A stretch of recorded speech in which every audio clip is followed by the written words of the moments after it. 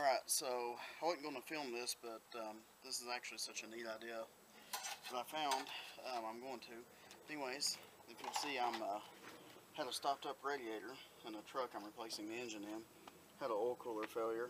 Well, the engine failed and dumped the oil and antifreeze together and made a really nasty sludge mix. So, as you can see, the the cores are completely full of that oil sludge and water would not force them out. You would think it would, but it didn't.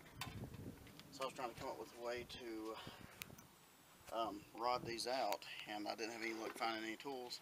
But what I did find is at, I think it's Lowe's, you can get this for like five or six dollars.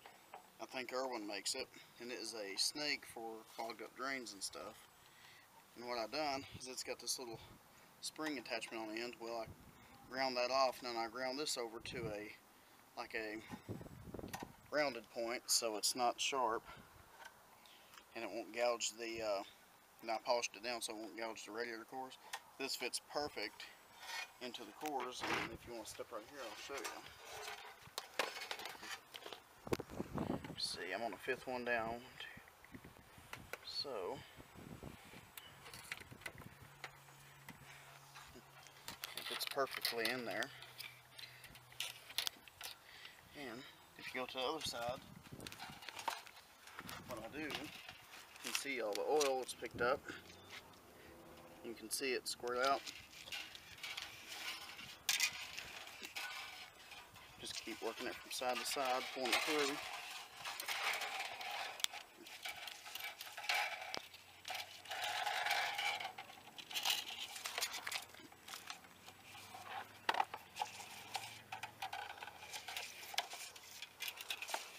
Can see it does a pretty good job of getting that out. And then what I'll do is I'll take a rag and clean the full length of this. And then I also I'll pull it back through.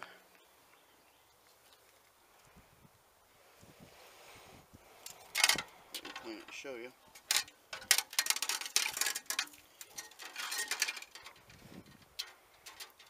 And after it's cleaned, I will pull it back through just the same way.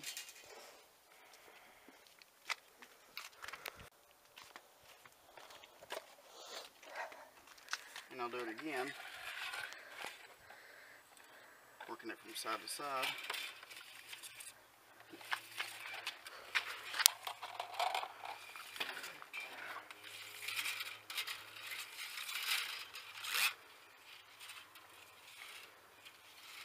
And I'll clean it again and start on the next one. And after I'm through I'll probably uh, boil some water turn it up on its end and just dump boiling hot water down through here to try to thin that oil out and then I will put the tanks back on and bolt them down. I've already uh, could not get gaskets for these tanks so I just had to end up uh, making some out of uh, some rubber cellulose gasket material from Fel-Pro. So, but yeah, um, I going to film this but I figured that was such a neat trick and I'm sure there's other people out there trying to find the tools to rod out radiators and so for about five or six dollars and a little bit of modification um, that works perfect. Thanks for watching. Like and subscribe.